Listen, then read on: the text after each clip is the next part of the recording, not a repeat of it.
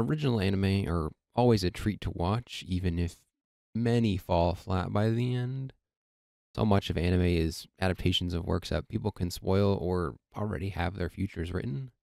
There is more Jujutsu Kaisen after the anime, so there becomes the need to avoid being spoiled if you want your experience to remain pure. Granted, using JJK as an example here is bad since even the manga chapters get leaked in advance, and that is so much fun. However, original anime don't have this problem since there is no pre-written future beyond what the creators of the anime have decided.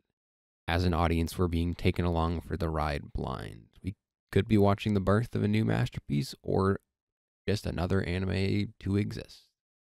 And that's the fun of it, experiencing a story unfold without any clue as to where it will go. Scrolling through MyAnimeList top 100 anime, there are only a handful of original anime, only three series in the top 50. And if you expand to the top 100, you only add about eight new series.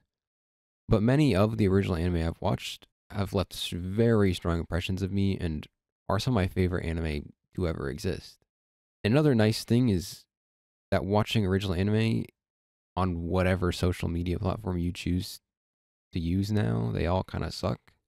You get to watch everyone else enjoy it in real time as well. It is so much fun to watch the internet collectively lose their mind at plot developments or plot implosions, depending on the series. A recent highlight has been Bang Brave Bang Bravern, the gayest mecha series of all time, unless you count the tension between Amuro and Char, and then Bravern is probably still hornier for Isamiya. Bravern has been a series that I've never truly been able to predict where it is going, but it has always been fun to be on the ride regardless. I found it through rumblings on Twitter about just how much homoerotic tension the series held, and it has continued to surprise me with just how overt it was. You have to be suffering some serious delusions to have any other take than that Bravern and Isami are madly in love with each other. But even beyond that, Bang Bravern has taken some truly wild turns over the course of the season, from adding some really fun new villains and character backstories to making it explicit as humanly possible that Bravern and Isami are in love. There are no questions here, it is just a fact and I implore anyone and everyone to start watching it. It is so much fun, and we'll probably never get another season. Which, to some extent, is kind of the saddest situation with some original anime, where so many are truly great series, but we never see more of it unless it breaks free and becomes a franchise like Psycho-Pass or Code Geass. And depending on who you ask, this constraint to one season is for the best. I still love Psycho-Pass in its current form, even with all the seasons. But I also can't disagree that the first season is its peak.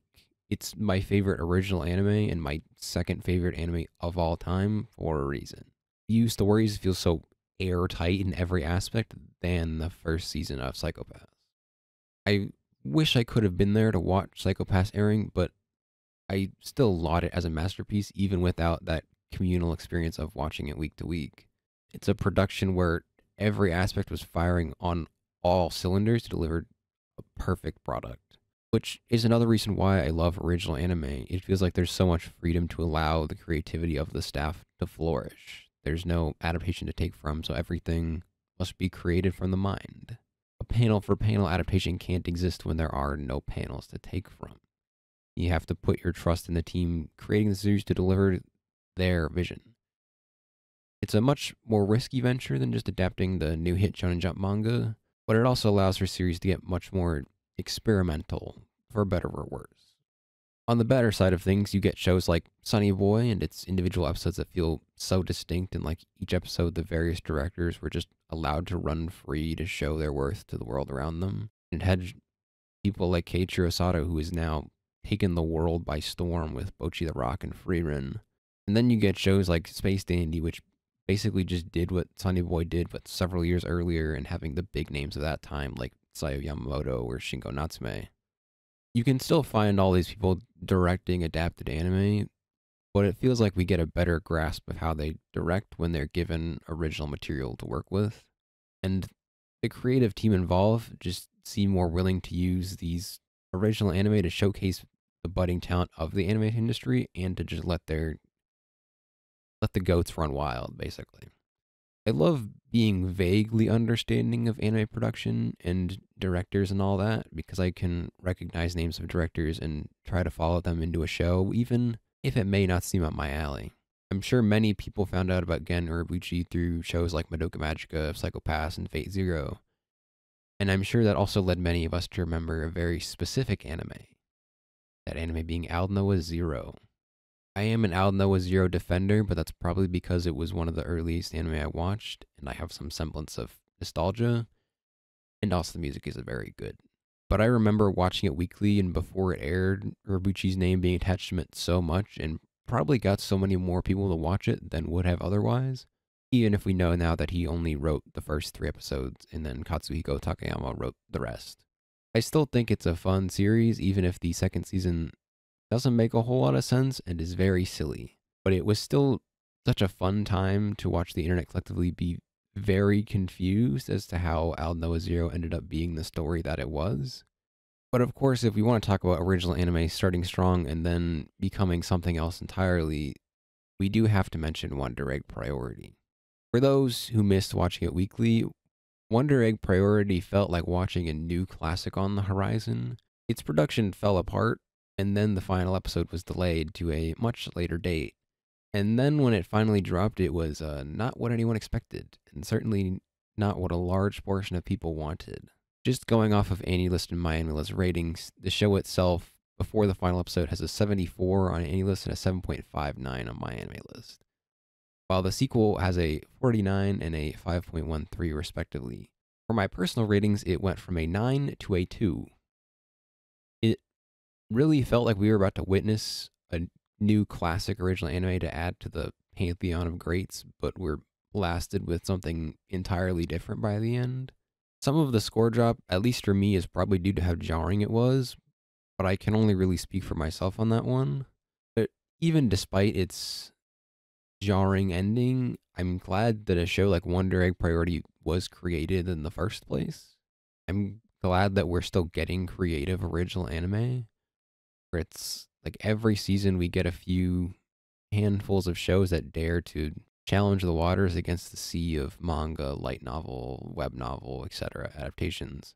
And even if they end up being terrible, I love that they exist. I'll still be watching the adaptations of series I like, but I'll always try and throw in an original anime or two just to give them a shot. I just like seeing original stories in anime and finding inspiration from them, whether that be in their flaws or their successes as stories. And as someone who wants to write his own stories, you can find a lot from original anime, especially ones that fall victim to their own ambition. Granted, I'm not writing an anime with a constrained time period, I'm just writing stories. So, really, I can take inspiration from any piece of media, but I feel a special surge of inspiration for those who kind of carve their own path by being a show that is so committed to its premise without ever really wavering. This is the story they wanted to tell, and they will tell it. And it feels like they had a blast making Bang Brave Iron. Even if we only ever see a few virtual anime a season, I'm glad they exist in an era of humanity where it feels like so much of the media we're presented with are adaptations of works from other mediums. It's nice to see an anime that is uniquely an anime, even if it burns brightly enough to become a new classic of the medium or it falls apart under the weight of its ambition. Because at the end of the day, there was still that ambition to tell a story. If I had to give a list of original anime that I think are worth checking out, it would probably look something like this. I'm gonna exclude Space Dandy, Cowboy Bebop, and Utena because I haven't finished them yet, but they should be on any list that I'm actively watching Space Dandy at the time of writing. I just haven't finished it, and I'm not going to recommend it without being done. But to begin with, I think every single human being alive should watch the first season of Psycho-Pass. I think it may just be a perfect season of television. And Akane and Kogami are two of my favorite characters in any medium period. And that's not even mentioning the dynamic between Kogami and Makishima, which is probably one of my favorites in anime. They play off each other expertly, and uh, you all need to watch it. Next, I'd add a few classics like Neon Genesis Evangelion, Gurren Lagann, Code Geass. I think they speak for themselves. They've cemented their place in history, but if for some reason you haven't watched them, you should.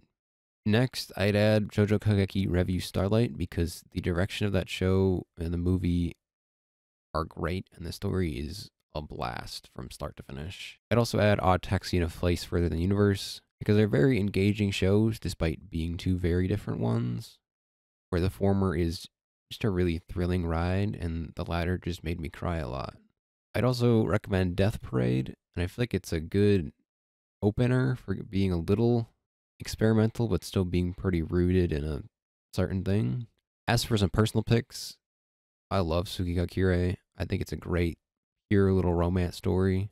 And then a similar line with Tamako Love Story, which I just think is a great film. And I'd also give out Zankyou no Terror because it has my favorite OST in anime, period, even if it is the anime about terrorism.